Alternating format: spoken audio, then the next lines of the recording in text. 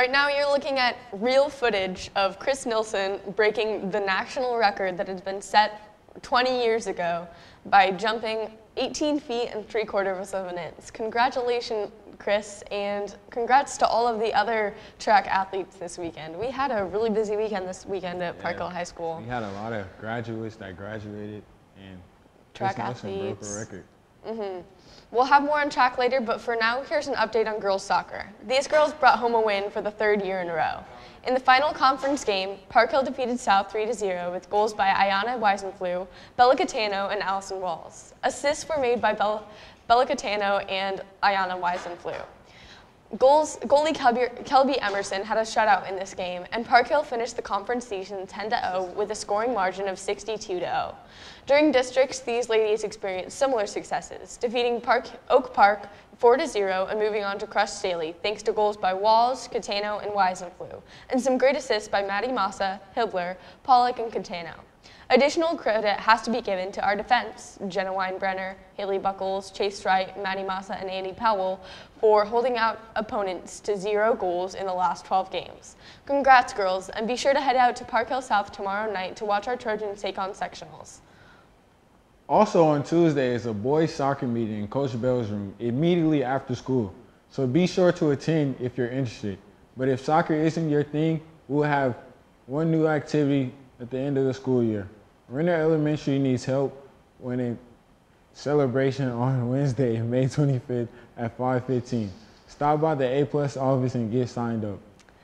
The Blue Star Awards were held Starlight Theater last Thursday night, honoring the work of over 50 area schools in the municipal theater.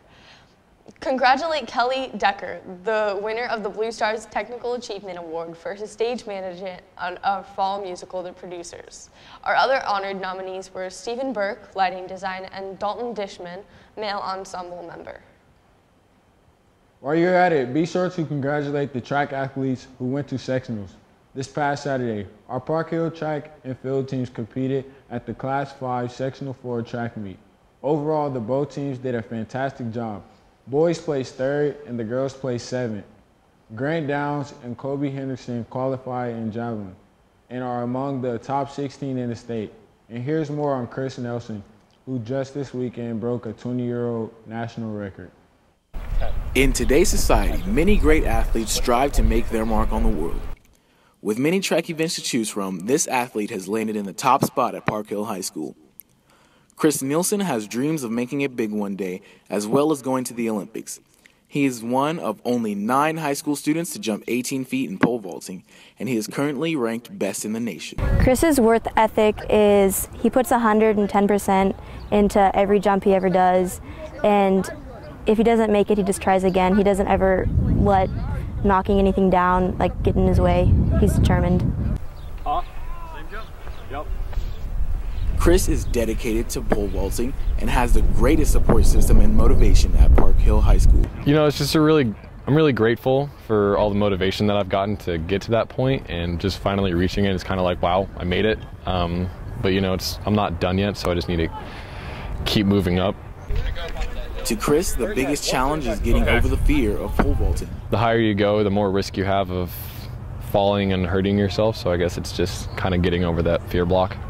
He has learned to have a blast and enjoy his jumps. Have fun, because that's kind of half a pole vault. I mean, you're jumping over a bar with a, another stick. You're gonna have to have some kind of fun with it, or it's gonna be really annoying.